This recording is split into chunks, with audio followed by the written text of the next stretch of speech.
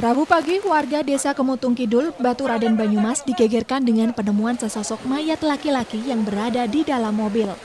Saat ditemukan, mayat dalam keadaan terikat di bagian leher dan digantungkan pada pegangan tangan atas mobil. Satuan Reserse Kriminal Polres Banyumas yang berada di lokasi melakukan olah tempat kejadian perkara. Belum diketahui dugaan penyebab meninggalnya korban apakah karena bunuh diri atau merupakan korban pembunuhan. Ada orangnya saya sampai di pendopo, kadu saya telepon, katanya ada pembunuhan atau bunuh diri. Itu saja sekilas yang saya. Posisi orangnya? Posisi orangnya semacam orang gantung diri sementara.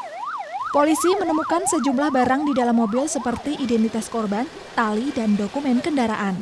Saat ditemukan, mobil korban dengan plat nomor Jakarta tersebut terparkir di pinggir jalan dengan posisi ban belakang sebelah kiri terperosok di parit. Ya posisinya terikat, terikat di dalam mobil.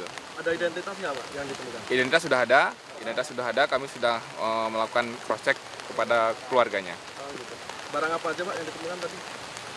Barang-barang ya barang-barang mungkin barang-barang milik perusahaan ya, karena itu eh, indikasi awal adalah mobil mobil dinas milik perusahaan. Korban warga mana Pak? Warga Purwokerto. Jenazah korban dibawa ke Rumah Sakit Margono Sekarjo Purwokerto untuk diotopsi.